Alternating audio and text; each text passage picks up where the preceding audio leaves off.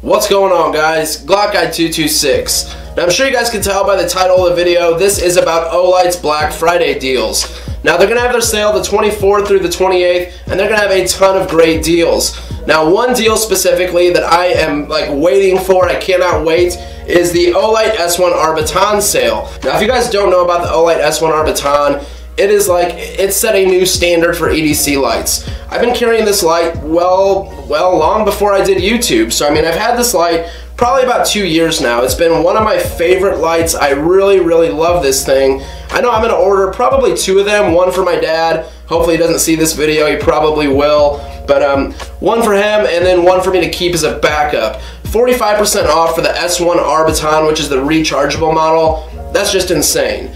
Now on the other days, they're gonna have a lot of flashlights that are gonna be 40% off, a lot of other lights that are gonna be 20% off. But either way guys, Olight makes great products. They've been really good to me here on my channel. They do a lot for other YouTube channels as well. And another light I want to show you guys real quick is the Olight M2R Warrior. Now Olight did send this out for me to review. I haven't done the actual review yet, but I've been taking this with me to the farm. I've been taking it out at night. 1500 lumens. I really like the tail cap activation more of like a tactical light. Um, if you're into weapon lights though, Olight has sent out a few of their weapon lights. I've liked both of the weapon lights they've sent. This is the PL Mini Valkyrie.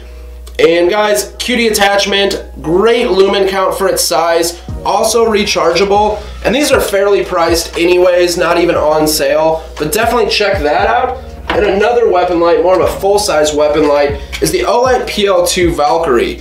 Now, this light is also quick detach. It is not rechargeable, but it takes CR123s, a very, very common battery for most weapon lights. I'm sure you guys will see a lot of other videos from a lot of other channels about Black Friday deals, so I don't mean to flood your feed with that. But guys, definitely don't overlook these sales. Please like, share, subscribe. Catch you in the next one.